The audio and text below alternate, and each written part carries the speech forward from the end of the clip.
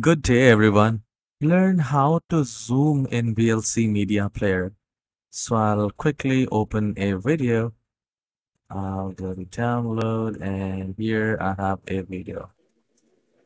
Good day, everyone. This is a video. Learn how to So this video is playing right now and I want to zoom it.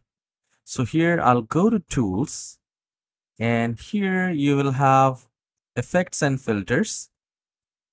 And then let me just open it right here. Video effects.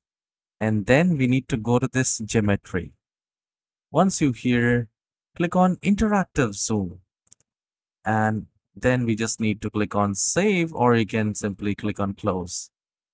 Uh, if you save it like this, then in this manner, it will open every time like this. So I'll just click on interactive zoom and I'll click on close. Now, whatever the part I want to see, it will show me that particular area. You can see right here, the particular area is showing me the zoom. And this is how you can zoom the part in the video. All right.